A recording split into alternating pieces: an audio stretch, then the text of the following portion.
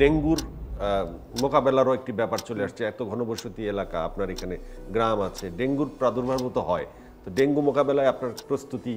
এটা আমি আপনার বলছি যে এটা আমি মাননীয় প্রধানমন্ত্রীর কথাটা বললাম, যেন যেহেতু উনি পুরাটাই গার্জিয়ান হিসাবে জিনিসটা দেখল, উনি স্বাস্থ্য মন্ত্রণালয় থেকে আমাদের সব জায়গা থেকে তারা কিন্তু আজকে আমাদের দিনরাত কাজটা শুরু করেছে। এই কাজটা শুরু করে না, আমরা কিন্তু বড় একটা ভয়াবহ আকার থেকে কিন্তু অনেকটুকুই সেভে আছি। পৃথিবীর অন্য অন্য জায়গায় যেভাবে তছনছ হয়েছে, আমাদের কিন্তু এখনও সেভাবে তছনছ হয় নাই। কিন্তু সামনে কি হয় এটা আল্লাহ জানে, আমরা সবাই চেষ্টা করছি। আর যেটা ডেঙ্গুর কথা বলা হচ্ছে, সেটা মাননীয় প্রধানমন্ত্রী আমাদেরকে, মেয়র যে ঢাকা, উত্তর, দক্ষিণ সহ আমাদেরকে বলেছে, মশার শব্দটা শুনতে চাই না।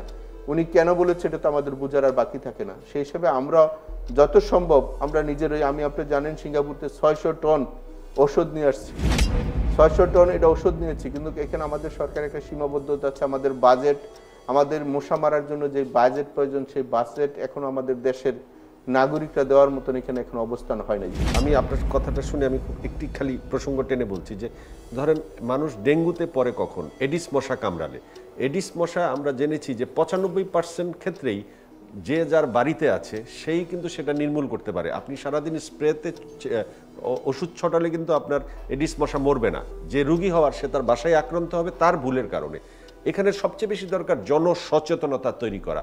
জনসচেতনতায় আপনাদের আমি আপনার বলি আমি গত বছর নির্বাচিত হওয়ার পরে যখন ডেঙ্গু শুনলাম আমি নিজেও তো একটা ডাকা খেয়ে গেলাম এটা কি অবস্থা? আমরা নতুন জনপ্রতিনিধি। সেই হিসাবে পৃথিবীর বিভিন্ন দেশের সাথে যোগাযোগ করলাম। তারপরে আমি পোল্যান্ডের ইউরোপের একটা ব্যান্ড সিঙ্গাপুরের মাধ্যমে সেটা আমি কালেকশন করলাম এবং সিঙ্গাপুরতে আমি ছয়জন ডাক্তারও নিয়ে এসেছি। এইটি, এই রোগের মধ্যে দেখা যাচ্ছে মশা দিয়ে অন্তত বিশ বা চব্বিশটা রোগের এখানে সৃষ্টি হয়ে যাচ্ছে। তাদের সাথে পরামর্শ করলাম, তাদেরকে আমি নিজে এসে গাজীপুরে নিয়ে আসলাম, টিম করে তাদের সাথে চুক্তি করলাম দশ বছরের এবং তারা তিন মাস পর পরে সেইখানে আমাদের কোচিং করে যায় কীভাবে এটা থেকে মুক্তি পাওয়ার জন্য। কিন্তু আমি আপনি যেটা প্রথম বলেছেন এই ডেঙ্গু মশা বা মশার জন্য আমাদের নাগরিকদেরকেই কাজ করতে হবে আশি পার্সেন্ট বাকি হয়তো বা প্রশাসনিক করবে বিশ পার্সেন্ট কিন্তু সেটা উল্টা হচ্ছে। একজনের বাসার ছাদে গিয়ে ওষুধ দেওয়ানো খুব কঠিন এবং বাসা যেগুলো তৈরি করা হয়েছে ফ্রিজের আশেপাশে এবং যেসব বাসা তৈরি করেছে দুই বিল্ডিং এর পাশে মাত্র ছয় ইঞ্চি জায়গা আছে ওইখানে একটা মানুষ ঢুকবে না। এই যে মানুষের বাসার অলিগলি একটা কিন্তু ডেঙ্গুটা হলে পরে দোষ হবে মেয়র মেয়রের দোষ হবে। মশায় কামড় দিবে মেয়রকে দুষবে কিন্তু এই মশা মারার জন্য যে অর্থ এটা কিন্তু কেউ দেয় না। কিন্তু আপনার যখন খোঁচা দিবে তখন কিন্তু সম্পূর্ণই বলবে এটা মেয়র জানে। এবং সেই হিসাবে কঠিন অবস্থার মধ্যে এই পথ চালানো। তারপর আমরা বিতুনে আমরা চেষ্টা করে যাচ্ছি। মানুষ নিচের থেকে বড় হয়। আমি মনে করি আমার এই অলিপতারি শহর এই শহরকে যদি সুন্দর করতে পারি এই শহরের মানুষদের যদি সচেতন করতে পারি তাহলে সাকসেস সেই হিসাবে আমি মনে করি আমাদের এই করোনায় যেহেতু একদিনও বাসায় বসে রাখতে পারে না ডেঙ্গুতেও পারবে না। আমরা চেষ্টা করব কিন্তু একটু সময় দিতে হবে নাগরিকদেরকে। আমার নাগরিকরা যারা আছে, গাজীপুর সিটি কর্পোরেশন সবাই নিরাপদ থাকুক, সবাই নিয়মটা মেনে চলুক এবং সারা দেশের মানুষের যদি আমরা যদি সবাই একসাথে অন্যের সমালোচনা না করে, আলোচনার মাধ্যমে যদি কিছু থাকে, তাহলে সেটা সমাধান করি। আর সবাই কিছু একটা করার জন্য চেষ্টা করি। এবং যারা অন্যায় করে, তারা যেন অন্যায়টার সাথে আর কোনো হাত না মিলায়। যারা ভালো কাজ করে, যারা দুর্বল আছে, তারা ভালো কাজের সাথে যদি একসাথে মিলে কাজটা করে, তাহলে সবার শক্তিটা, সবার মেধাটাই যদি একসাথে আমরা কাজে লাগাতে পারি, তাহলে সম্ভব। আপনি তো পরিশ্রম করে যাচ্ছেন, নিরলসভাবে আপনি সিটি কর্পোরেশনের কাজ প্রতিদিন বাসার বাইরে যাচ্ছেন।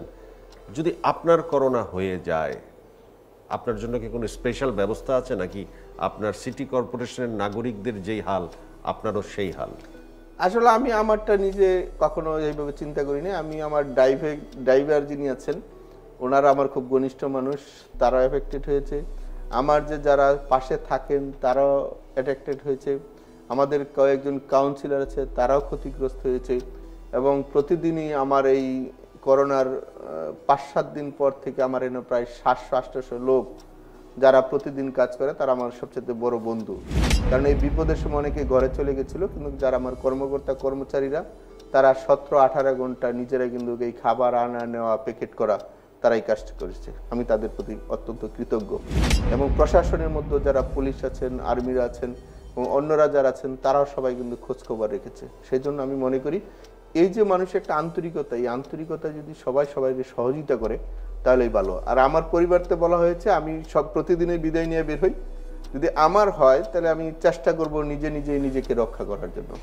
বাকিটা আল্লাহ জানে, আমি এখানে আর কারও জড়াতবো না।